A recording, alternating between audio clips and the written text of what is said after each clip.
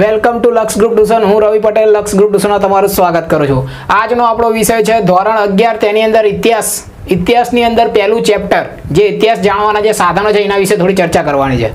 વિદ્યાર્થી મિત્રો, માત્ર અગિયારમાં ધોરણનું ચેપ્ટર છે એ રીતે માનીને ના ભણતા, કારણ કે આગળ જતા જો તમે કોઈ પણ ગવર્મેન્ટ જોબ લેવી હોય તો તમારા મિત્રો જે પણ ગવર્મેન્ટ જોબની અત્યારે તૈયારી કરી રહ્યા છે, તેમને આ ચેનલ અવશ્ય શેર કરજો, જેથી એમને ખબર પડે કે ઇતિહાસની અંદર આવા ક્વેશ્ચનો પૂછાય છે અને એ લોકોને ખ્યાલ જ હશે કે આવા પ્રશ્ન આવે છે. એટલે એકવાર તમે પૂછી લેજો, એટલે માત્ર અગિયારમું ધોરણનું સમજીને આને ન જોતા અને ફ્યુચરમાં પણ કામનું છે એ વિચારીને જોજો. એટલે એન્ડ લગી આ વીડિયો જોજો.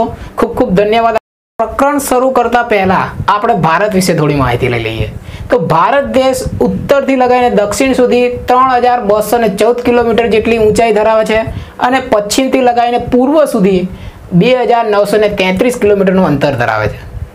ત્યારબાદ મિત્રો, ભારત દેશ દરિયાઈ સીમા આઠ હજાર કિલોમીટર જેટલી ધરાવે કેટલી? આઠ હજાર. અને જેનો ભૂમિ ભાગ છે બત્રીસ પોઈન્ટ આઠ લાખ ચોરસ કિલોમીટર જેટલો આટલું જ નહીં, વિદ્યાર્થી મિત્રો, ભારત દેશ એ ભૌગોલિક દ્રષ્ટિએ પણ સંસ્કૃતિમાં ઘણો ભાગ આપે છે. જેમ કે ઉત્તરની અંદર આવેલું આપણું હિમાલય, જ્યારે દક્ષિણની અંદર આવેલો હિન્દ મહાસાગર. પૂર્વની અંદર જોવા જઈએ તો અરબ સમુદ્ર, જ્યારે પશ્ચિમમાં આવેલી બંગાળની ઉપસાગર. આ રીતે ભૌગોલિક દ્રષ્ટિએ પણ આપણો ભારત દેશ સુરક્ષિત અને ઇતિહાસમાં ઘણું બધું સ્થાન ધરાવે છે. આટલું બધું સુરક્ષિત હોવા છતાં પણ વિદેશની પ્રજાઓ ભારતમાં આવી છે. અને આપણી પ્રજા બહાર પણ ગયેલી છે.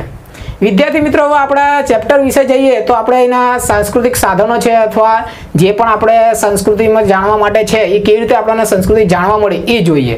તો સતયુગ દ્રાપર યુગ ત્રેતાળ યુગ અને કળયુગ વગેરેના માધ્યમથી આપણામાં ઇતિહાસ વિશે લખાણો મળી આવેલા છે. અને આ બધાના દ્વારા આપણે લખાણ જોઈએ છીએ, પુરાણોમાં પણ આપણને જોવા મળે છે.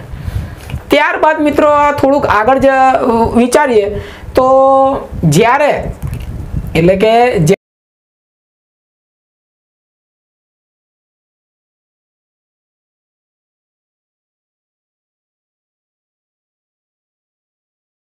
કલ્હણકરનો નામનો વ્યક્તિ જે રાજ કવિ તરીકે ઓળખાતો હતો, તેને રાજ તરંગી નામનો ગ્રંથ પણ લખ્યો છે. ઇતિહાસ ક્ષેત્રે એ સમયની અંદર આના જેવો બીજો કોઈ ગ્રંથ જ નથી, મિત્રો. ત્યારબાદ થોડોક આગળ વધતા જોઈએ તો મિત્રો જ્યારે ભારતની અંદર અઢારમી સદીમાં અંગ્રેજો રાજ કરવાના હેતુથી આવ્યા, ત્યારે એમની પહેલા એ લોકોએ આપણા જે ભારતના ઐતિહાસિક ગ્રંથો હતા, તેમનું એ લોકોએ અંગ્રેજીમાં ટ્રાન્સલેટ કર્યું, એટલે કે અંગ્રેજીમાં એમ લોકોએ અનુવાદ કરેલું છે. ત્યારબાદ આટલું તો કર્યું જ છે, પરંતુ તે લોકોએ વધારે ભારતનો ઇતિહાસ જાણવા માટે એક સંસ્થા સંસ્થાની પણ સ્થાપના કરી હોય તેવું જોવા મળે છે મિત્રો. આપણો ઇતિહાસ ફેનતા આપણને આ પણ જોવા મળે છે. તેમને એક ઇતિહાસ જાણવા માટે ભારતનો એક સંસ્થા છાપી જે બંગાળની અંદર આવેલી છે મિત્રો. અને તે સંસ્થાનું નામ એશિયન સોસાયટી ઓફ બંગાળ નામ આપવામાં આવ્યું છે.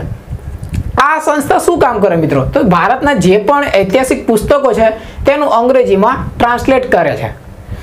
અને આ સંસ્થા એક જાતની સત્તરસો ને ચોર્યાસીમાં મિત્રો આઈ થિંક સ્થપાયેલી છે, જેને આપણે royal Asian society of Bengal તરીકે પણ આજે ઓળખવામાં આવે છે, જેનું આપણું કાલ્પનિક અત્યારનું હાલનું ચિત્ર તમને ઇમેજમાં દેખાઈ રહ્યું હશે. ત્યારબાદ મિત્રો આટલું તો ઇતિહાસ જાણવા માટે પૂરતું હતું જ, છતાં પણ એ લોકોએ તેમનો અંગ્રેજનો એક વિદ્રાણ હતો, જેનું નામ હતું જેમ્સ પ્રિન્સ.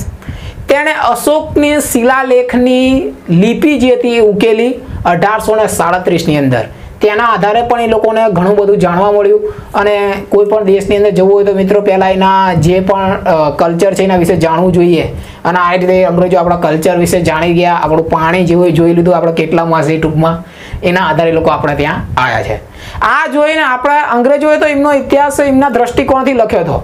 તો ભારતના જે ઇતિહાસવાદીઓ છે, એટલે કે રાષ્ટ્રીયવાદીઓ છે, જેની અંદર ખાસ કરીને ડોક્ટર આરજી ભંડાંકર અને વી કે રાજવડે, આ લોકોએ શું કર્યું? તો કે આપણા જે ભારતીય સંસ્કૃતિનું ગૌરવ વિશ્વ સમક્ષ મૂકી દીધું. એટલે કે અંગ્રેજોને હવે પછી જે કરવું એ કર્યા કરે, પણ આ બધું અમારું જ છે એવું વિશ્વની સમક્ષ મૂકી દીધું. તો હવે જોઈએ મિત્રો ઇતિહાસ જાણવાના સાધનો. એની અંદર ખાસ કરીને અલેખિક સાધનો અને લેખિત સાધનો. અલેખિકની અંદર પથ્થર, ધાતુ, વાસણ અને હાડપિંજર. જ્યારે લેખકની અંદર ધાર્મિક સાહિત્ય, ધર્મેન્તર સાહિત્ય અને સિક્કા અને શિલાલેખ અને પ્રવાસીઓની નોટપોથીઓનો સમાવેશ કરવામાં આવે છે મિત્રો. જેના આધારે આપણો ઇતિહાસ જાણવા મળે છે. તમને સવાલ થતો હોય કે અલેખિકને આધારે કેવી રીતે ઇતિહાસ જાણવા મળે? તો અલેખિકની અંદર કાર્બન ફોર્ટીન નામનું એક તત્વ હોય છે જે દરેક સજીવ જ્યારે મૃત્યુ પામે છે, એટલે એની અંદર દરેકની અંદર આ તત્વ મોજૂદ જ હોય, પણ એ મૃત્યુ પામે ત્યારે એ વાતાવરણની અંદર કેટલા અંશે ભળી ગયો છે, એના આધારે એ મૃત શરીરની શરીર જે મૃત પામ્યું છે તેની ઉંમર નક્કી કરવામાં આવે છે. અને આના આધારે આપણે કોઈ હાડ પિંજર હોય કે કોઈ બી વસ્તુ હોય, એના આધારે આપણે જોઈ શકીએ છીએ. લેખિકની અંદર જોવા જઈએ તો મિત્રો તમને ખબર છે, ધાર્મિક સાહિત્ય અંદર ઋગ્વેદ, અર્થવેદ, સામવેદ, જેની અંદર ઋગ્વેદ સૌથી જૂનામાં જૂનો વેદ છે, જે ઈસવીસન પંદરસો પૂર્વથી એક હજારમાં રચવામાં આવ્યો હતો. મહાકાવ્યની અંદરથી પણ આપણને ઇતિહાસ જાણવા મળે છે, રામાયણ અને મહાભારત પુરાણોની આધારે પણ આપણે ઇતિહાસ જાણવા મળે છે, જેમ કે ભગવત પુરાણ છે, મત્સ્ય પુરાણ છે, વિષ્ણુ પુરાણ છે અને ગરુડ પુરાણ છે.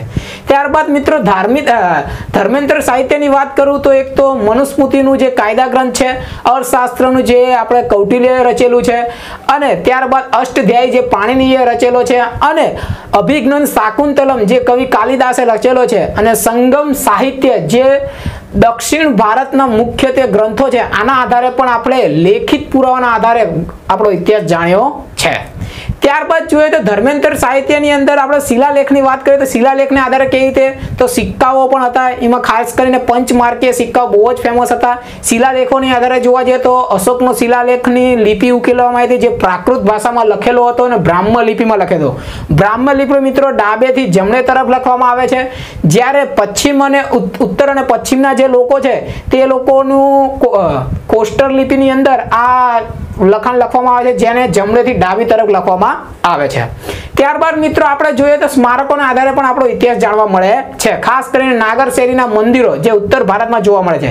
દ્રવિડ શૈલીના મંદિરો જે દક્ષિણ ભારતમાં જોવા મળે છે. મૂર્તિઓ જે ગાંધાર શૈલીની છે અને મથુરા શૈલીની છે. ચિત્રની વાત કરીએ તો મિત્રો ભીમ બેટકાના ઉત્તમ ચિત્રો છે, જેના આધારે આપણે ભારતનો ઇતિહાસ જાણવા મળે છે. તો આના આધારે આપણે કહી શકીએ છીએ મિત્રો ભારતની અંદર સંસ્કૃતિનું કેટલું મહત્વ છે અને આપણી સંસ્કૃતિ કેટલી અવ્વલ નંબરે છે અથવા આના આધારે ઘણા લોકો પહેરાઈને આપણા દેશ ઉપર રાજ કરી ચૂક્યા છે. એટલે સંસ્કૃતિને આપણે લેટ ગો